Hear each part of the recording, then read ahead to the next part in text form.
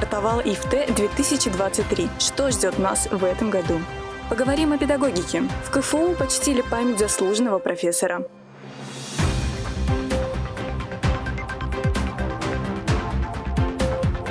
Всем привет! В эфире «Univer News», а в студии Диана Батаршина. Ректор Казанского федерального университета Ленар Сафин встретился с новым генеральным консулом Исламской республики Иран в Казани Давудом Мирзахани. В ходе встречи руководитель вуза отметил, что Республику Татарстан и Иран объединяют давние партнерские отношения, тесные экономические и культурные связи. Ленар Сафин подчеркнул, что КФУ рассматривает научно-образовательное взаимодействие со странами Организации исламского сотрудничества, в том числе с Исламской республикой Иран, как важное направление своей международной деятельности. Также на базе Института международных отношений Казанского университета работает Центр иранистики. Ведется сотрудничество с культурным представительством при посольстве Исламской республики Иран в России. В Казанском федеральном университете стартовал девятый международный форум по педагогическому образованию ИФТ-2023. Сюжет Маргариты Михайловой.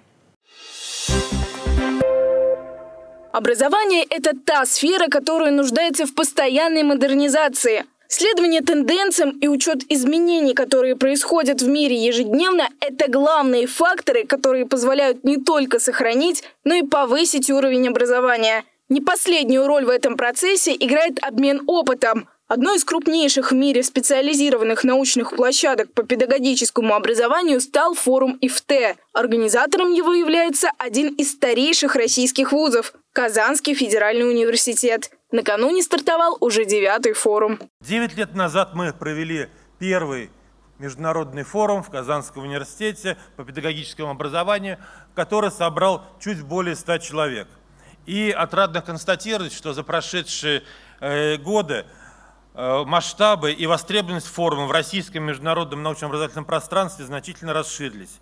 Сегодня мы вновь рады видеть наших давних партнеров и новых коллег, которые приобщаются к одной из крупнейших в мире научных площадок по обсуждению проблем и перспектив развития педагогического образования. Основные цели форума – содействие исследованиям и инновациям в области педагогического образования, изучение авторских методик коллег, а также поддержка межинституционального сотрудничества в области качества подготовки педагогов, специалистов образовательной сферы. Учитель – это прежде всего человек, который определяет будущее наших детей, будущее нашей республики, нашей страны, нас всех в целом. Именно поэтому крайне важно наличие в стране высоко образованных, профессиональных педагогических кадров, а, которые обеспечивают преемственность поколений, формируют нравственные ценности, позволяющие полноценно строить наше будущее. В этом году в рамках форума специалисты обсудят социальную роль современного университета, возможности инклюзивного образования, психологические аспекты работы педагога будут затронуты и проблемы дошкольного образования. В рамках проблем дошкольного образования мы а, для себя определили ну, несколько таких ключевых тем. Во-первых, вопросы а, когнитивного развития ребенка в цифровой среде, потому что сегодня дошкольники проводят огромное количество времени в э, различной такой реальности, да, э, в том числе и цифровой, и поэтому насколько их э, меняются когнитивные функции, как они стараются регулировать свое поведение. Один из важнейших вопросов, определяющих будущее высшего образования,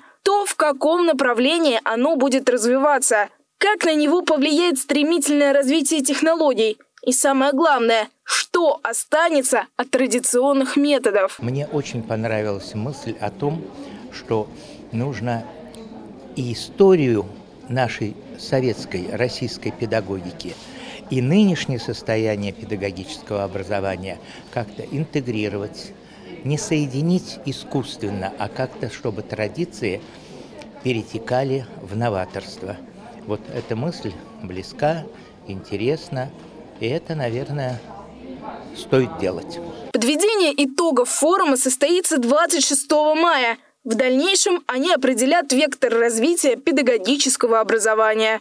Маргарита Михайлова, Фарид Захитаглы, Univer News.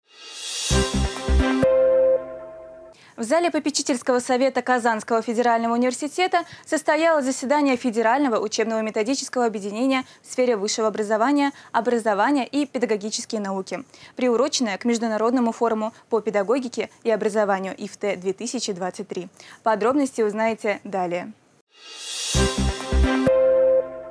24 мая в зале попечительского совета Казанского федерального университета состоялось заседание Федерального учебно-методического объединения в сфере высшего образования, образования педагогические науки, обновление единых подходов к структуре и содержанию подготовки педагогических кадров с учетом мнения работодателей. Мероприятие проходит в рамках 9 международного форума по педагогике и образованию ИФТ-2023.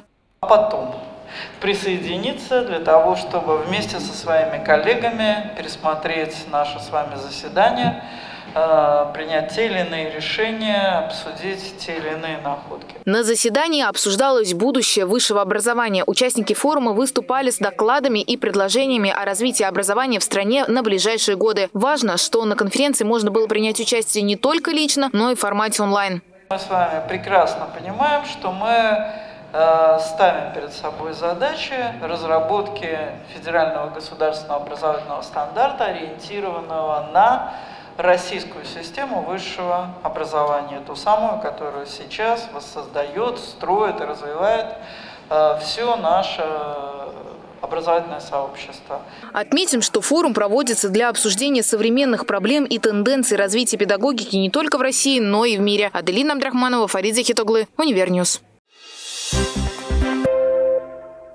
24 мая в стенах Института филологии и межкультурных коммуникаций почтили память заслуженного профессора, ученого и доктора филологических наук Флёры Софиулиной. Подробнее о мероприятии расскажет наш корреспондент. Имя Флёры Софиулиной знает не только Татарстан, но и весь мир. За большие заслуги в развитии татарского языкознания и плодотворную научную деятельность она была трижды удостоена звания лауреата Казанского государственного университета за лучшую монографию. В 1997 году избрана членом Международной тюркской академии, а в 2004 удостоена почетного звания «Заслуженный деятель науки Республики Татарстан». К сожалению, прошло уже довольно-таки много времени, как ее уже нет, но несмотря на то, что ее нет, э, то дело, которое она начала, это продолжается. Начиная с 1955 года судьба Флёры Софиулиной была тесно связана с Казанским государственным университетом. После окончания школы она поступила на отделение татарского языка и литературы историко-филологического факультета. Сразу после выпуска будущий профессор начала свою трудовую деятельность в качестве лаборанта на кафедре своего института. А уже в марте 1992 года Флёра Софиулина стала первой заведующей новой и единственной не только в Татарстане, но и в России кафедре татарский язык в иноязычной аудитории. Она э, преподавала татарский язык э, тем, кто не знает этого языка. И за период своей работы э, через кафедру, э, через Казанский университет прошло очень много иностранцев и тех, кто до этого не владел, не знал этот язык. И на сегодняшний день мы довольно-таки плотно общаемся со многими из них. Они все очень благодарны, признательны Флёрсе Андреевне и ее э, коллегам. В первых дней открытия под ее руководством велась активная работа по разработке и изданию учебных пособий, словарей и программ для школ и вузов Республики Татарстан. Кафедра стала базовым центром обучения татарскому языку иностранных студентов и стажеров из Германии, Америки, Тайваня и других стран.